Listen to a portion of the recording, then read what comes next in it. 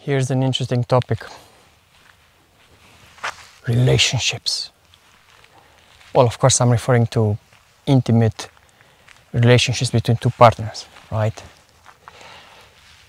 A topic which has been used and abused so many times in movies, in books, in TV shows, websites, spiritual teachers, gurus, self development, new age, and all that. And it doesn't seem to be working because we have so many issues still. So, is it maybe more of an entertainment topic rather than just an actual solution? Well, I've been studying this for a long, long time. And I've used my own experience, the experience of other people, the research that I've done, and everything else that came along with it. And I don't think there's a quick answer to any of these problems and challenges that come from having a long term, stable, monogamous relationship. Some people want to have, in terms of reasons for, for having relationships, some people want to have relationships so that they're not alone, they're not single, because probably they fear spending times with themselves so much that they believe if, if they're going to be single for a while, the entire galaxy will end. I mean, the stars will collide, and so long, Milky Way, that's it. Everything will be eradicated, including their lives. Of course, that's not the case, but they're afraid of spending time with themselves because they haven't worked on that.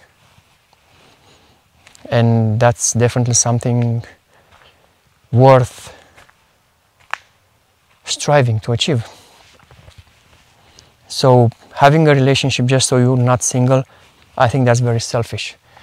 I don't think that solves anything, and I think the partner that will step in to that relationship needs to be informed hey, I chose you because I don't want to be single. Are you okay with that? Another reason is similar to not being single, but on the long, long term. People say, well, I don't want to end up old and lonely, right? I don't want to die alone. Well, true. I mean, I don't think many people want to die alone, but many do die alone. And to use that as an excuse to have a relationship is also selfish, in my opinion. So, and it's un, well, not unsustainable, but not guaranteed. Because let's say you start a relationship now, right? So that you won't be alone when you're old. How do you know that you will still have a relationship when you're old? How do you know that relationship you have now won't end in a few months? How do you know that? You don't. You can't. So of course, depends on your age, but the further away you are from being mm, elderly, dying person, the more chance of your relationship ending, right? So I want to have a relation. I, do, I want to have a relationship because I don't want to be alone. Not not cool. I, I want to have a relationship because I don't want to die alone. Not cool, not fair, and not guaranteed. Have you seen how many relationships fall apart? In, in Western countries, divorce is close to highest that's ever been, and marriage rate is lowest. So there's some statistics, you can look them up, but they don't look promising at all. So you cannot afford to make a lifelong investment in somebody just to have a guarantee that you won't be alone when you're old. Of course, you increase your chances by having somebody now, but that's not a guarantee. Other reasons would be for company. True, it's always amazing to have good company. So some people say, well, life is better in two than in one, right? And I agree with that to some extent because if you have somebody next to you, a partner, doesn't matter if it's marriage or just partner, life can be better for both of you if you're right for each other. Right, not perfect. What is perfect?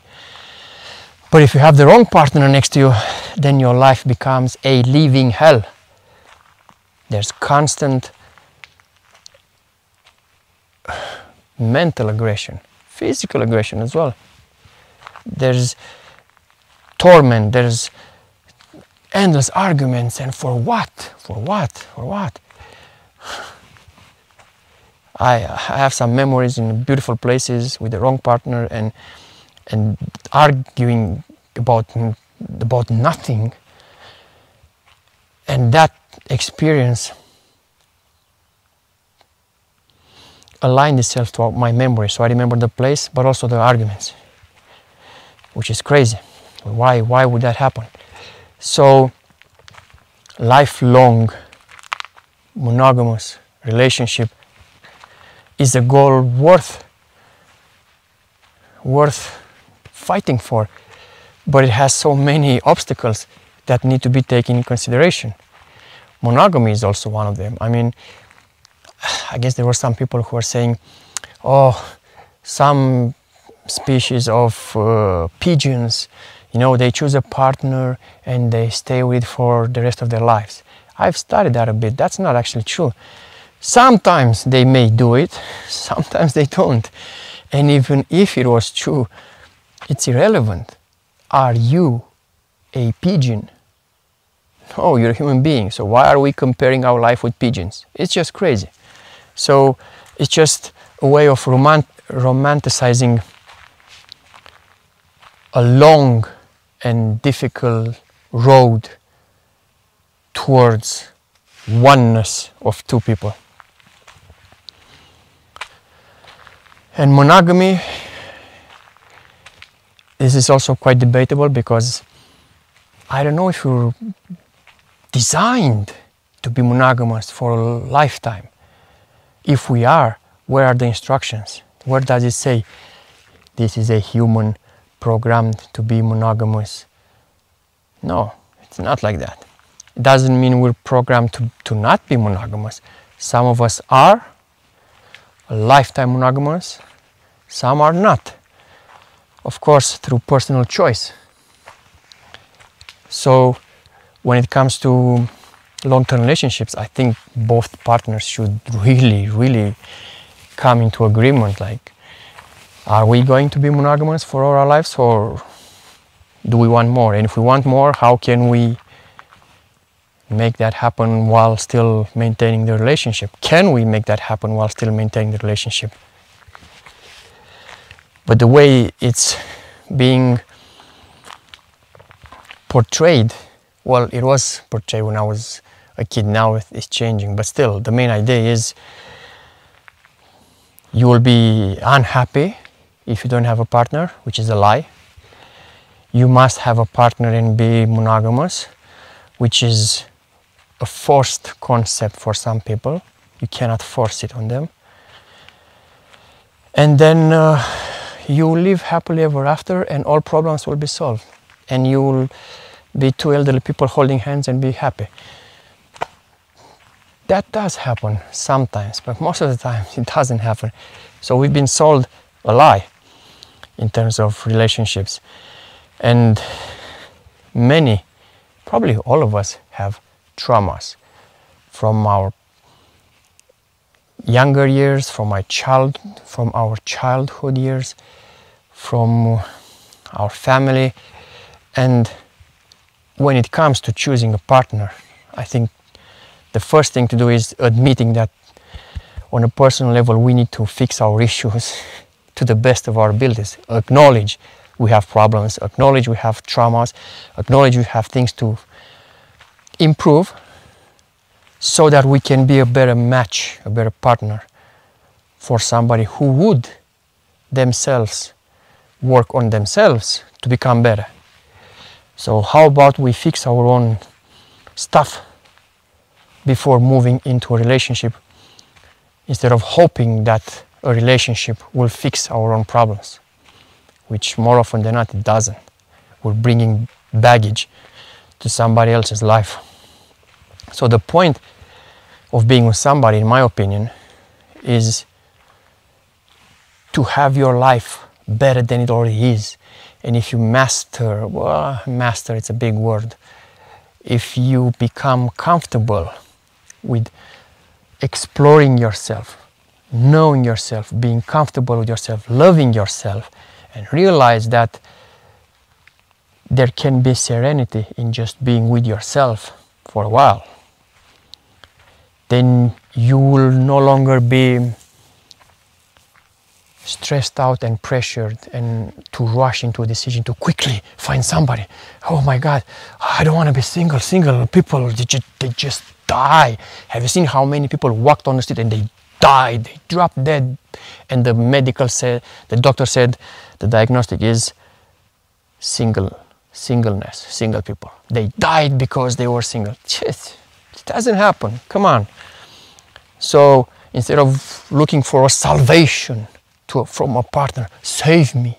I want to be with you so I don't want to be alone. I want to be with you so I don't want to age alone. I want to be with you so you can fix my shit.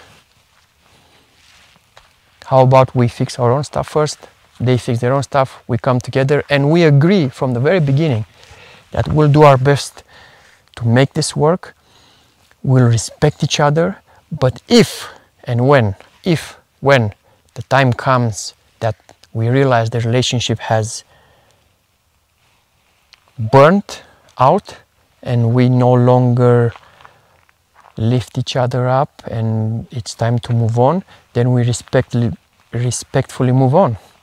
Instead of pushing, no, we have to stay because we have a paper that we signed and um, no, it's for the kids and all that. The kids feel, the children feel love, they feel hate, they feel when their parents hate each other. So yes, it's a noble idea to stay together in order to, in order to what exactly? For the kids. You mean to show them how a family looks like where there is no love and there is passive aggressiveness and there is hatred? No, you're not doing it for the kids. Of course, you should be in their lives, but if the parents no longer love each other and they no longer respect each other, I don't think they should be together in front of the kids. That's, that's what I think. Maybe I'm wrong. What do I know?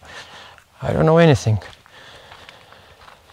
So, of course, there's cheating, right? You can find somebody, get all the promises made, and then they cheat. Well, then, instead of blaming, you can just you can just look yourself in the mirror and say, yes, I chose that person. I allowed this to happen. I put myself there instead of playing the victim game. So I don't believe having a partner is something that we need in order to be happy. Although if you have the right partner for you, you can be much happier. For example, I thought about the best experiences of my life and I separate them. When I was by myself and they were amazing, and when I was somebody who was a right partner and they were 10 times better, 100 times better, exponentially better. So it's, it's not twice as better to be with somebody, it's exponentially better. But the problem is when it gets worse, it's exponentially worse. It's exponentially worse. It's just, it, it ruins and, and destroys the will to live endless arguments, lack of respect. Oh, come on, it's just, it's horrible. That's no way to live. Nobody should live in a destructive, disrespectful relationship long term. Nobody. Nobody. Is that worse than just being on your own for a while? Is it? Is the fear of being single stronger than than accepting endless mental abuse from somebody. Of course, I'm talking about negative cases. When it's good, it's good. Hey, those people who live their life together and they have a beautiful life and they get old together and they die together, And that's beautiful. That is amazing. But it's just a small number of people. So we can play that game and see if we can win. But if we don't, it's better to also learn to be comfortable with yourself, to love yourself, so that you're no longer desperate to be with somebody. Because if you're single, the world will end, right? Work on that desperation, on that void inside, address it, and, and learn to love yourself and, and, and love your company. If you don't love your own company, why would somebody else love your company? Come on, I want to answer that. It's not a rhetorical question. I want to know that. Why, right? You come with all this baggage and you expect to be loved. You don't love yourself. Why, why would I love you, right? I'm, I'm being a bit mean, I know, but you get the idea. And so it is. A quick addendum to the idea of relationships is something that I misunderstood for a long time. Probably some of you do as well. And that's the suggestion that all we need is love, right? Like the song says, if two partners love each other, then they can overcome any difficulty, right? No, no. Not based on my views. Love is not enough, it's not all you need in order to have a lifelong, monogamous, stable relationship with one partner. Love is not enough there's also the idea of lust, of course. chemistry is important. There has to be physical attraction, and sometimes intense physical attraction is being mistaken as being love. Sometimes it is love, but to go on a journey thinking that